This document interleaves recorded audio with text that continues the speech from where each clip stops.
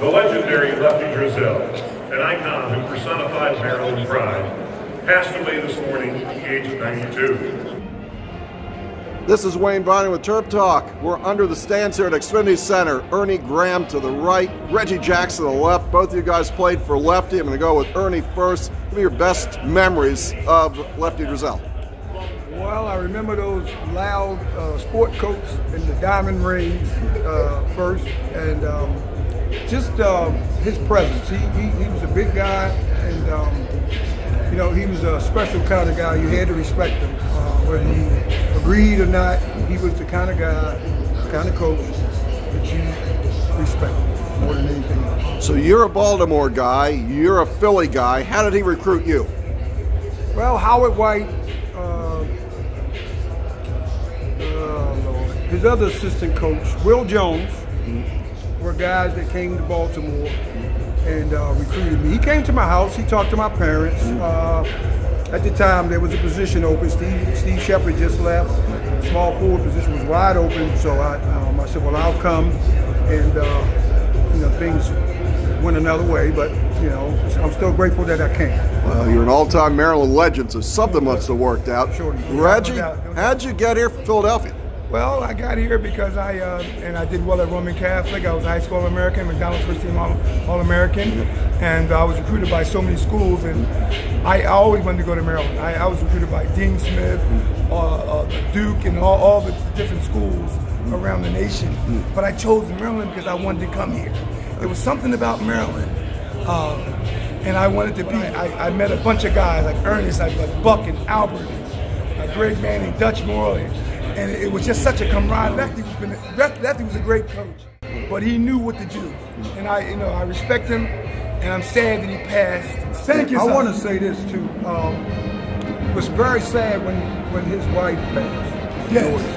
And I'm happy for him because now he gets to go home to his bride. That's right. Um, and I'm sure that's tough. I've been with my wife 40 years, and I couldn't imagine her not being here one day. But so I'm happy for him. Uh, he gets to join his wife. That's right. And I'm, I'm, I'm pretty sure that they are holding hands and, and she's kind of giving him orders like she used to. and um, that's working out very well. Uh, Chuck and the kids, I'm, I feel bad for them but he poured a lot into them. Uh, you know, he gave them all the opportunities to be coached for Chuck and his daughters and all to go to college and get degrees and all. He did a great job as a, as a, as a family man as well. So not just about basketball. Well done. All right. That's correct. Guys, thank you for being on Terp Talk and for being back on Terp Talk.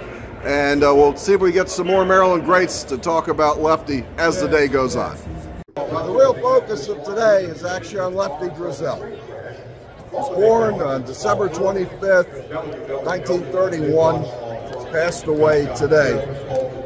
He is the original iconic Maryland basketball coach, a career record of 786 and 394, won 67% of his games.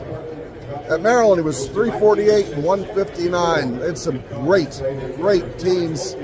My first real game was at Cole House on January 27, 1979. Albert King led those Maryland Terrapins over highly ranked Notre Dame when Kelly Tripucka went under a good pro career. Terps win that in overtime. Larry Gibson tied it up at 66. God, that was a, that was a fantastic day, Mason.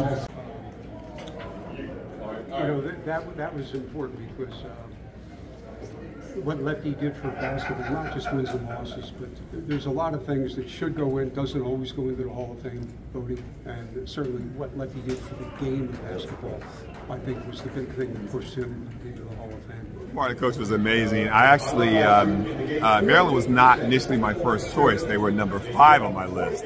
But once coach came in with his charismatic flair, and with, with that kind of trusting nature, um, I, as soon as he left, I told my mom, I said, I'm signing with Maryland. And yeah. that's how that worked for me. By the way, this is Jeff Baxter, who hit that iconic shot at the Dean Dome. At that time, a shot heard around the world as Maryland and one of Lefty's biggest wins. Yes, yes, there. Yes. Who was on the who was on that team with you? So it was Keith Gatlin was my point guard. Um, um, Lenny Bias, my main man, the guy who we went to at all for all things. Um, Terry Long and Derrick Lewis. Uh, we were all uh, on that team, and it, was just it was it was a big win for us, especially during that year because we needed a huge win, um, and I think that catapulted us into the NCAA. I think it did as well. Yeah. That kicked off a party on this campus that was just epic. Uh, best moments uh, talk, thinking about Lefty. Wow, it's a it's a lot of moments when I think about Coach because you know when you think about the word motivation, I think about him. He put the M in motivation. When you think about caring, I think about him as well because he's such a caring uh, person. And then when you think about the, the the the person that something he always told us was he was a God fearing person. A lot of people don't know that, but he always told us to put God first and that helped all us on our team to grow as men. So it's amazing. But one funny story about him was that when we were playing bad, um, he would come onto the bench, call timeout, and he would tell us, "I'm gonna find me five. I'm going to find me five. And that intimated with the fact, the fact that he was going to take all of us out and he was going to put five other players in. Most of the time, we were motivated and we got out there, and traditionally we came back and got a win. But that was one